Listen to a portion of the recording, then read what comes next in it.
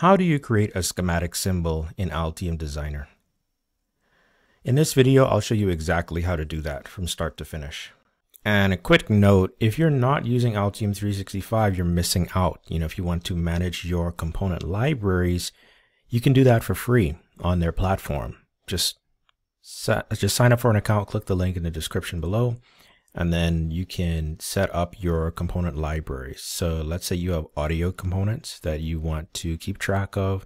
You can create your component like I'm showing you in this tutorial.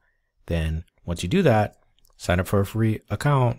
It's not a subscription. You just use it for free. Click on the description and then upload your parts. Then you can see the previews of the parts, the availability as well. Okay. And you can manage your footprints on your schematic symbols and footprints online that way.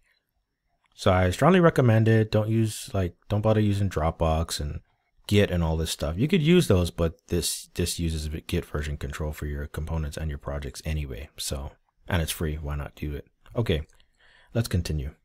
Make sure you have a project open or a schematic symbol library open. Here I have my voltage regulators library open along with a component. This is already the schematic symbol. I'll go ahead and delete this. Then we'll create one from scratch. So by default, you're going to have a component in here in the library already. Then you have the option to name it. I'm going to go ahead and name it the IC Reg Linear 5 volt 1A DPAK. Okay. For the designator, you will have U, you know, a U question mark. Since it's an IC, you use the U reference designator. For the comment, I like to use the manufacturer part number. So the manufacturer part number I'll pull from DigiKey actually. So we'll just copy this from here. And then um, I'm also going to close this panel. Now I'll put this as a comment. You can put whatever you want in the comment, that's fine. But I like to use the uh, manufacturer part number. Detailed description from DigiKey. Then we have the parameters. I'll add at minimum my manufacturer. Then I'll add another parameter, manufacturer part, number. The manufacturer part number will be this number, and the manufacturer is ON Semi or ON Semiconductor for the full name. That's the minimum you need for a part. Let's go and place our pins. So go to place, pins, hit the tab key. A few things here. For the designator, choose the pin designator as one. Input is the name of the designator. Then the electrical type set to the appropriate type input. I got these from the datasheet. So now click on the pause and then place the edge of your pin one right on there on the origin of the schematic. Now something very important, your grid in the lower left corner of the screen, keep that at 100 mils. Next, let's hit tab because we have another pin, pin number two attached to the cursor. The name, that will be ground. Then electrical type is power. Oh, for the pin length, set this to 200 mils instead of 300 mils if yours is longer. Hit the pause, then rotate this with the space bar.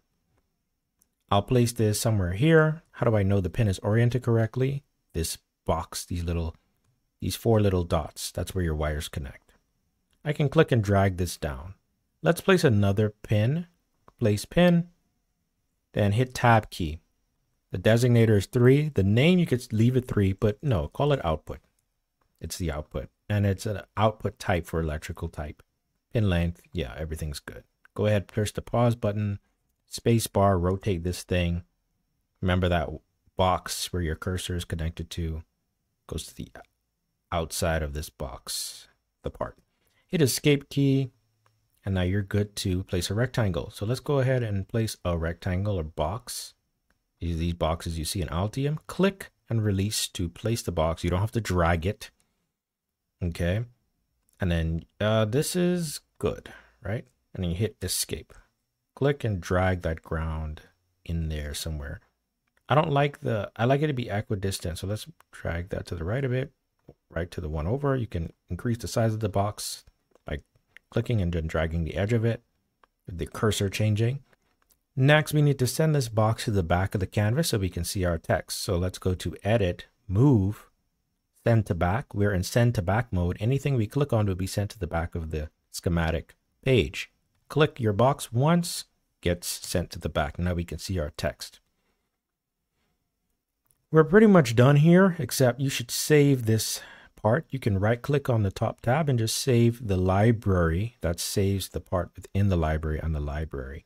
To view the schematic panel, go to View, Panels, choose Schematic Library.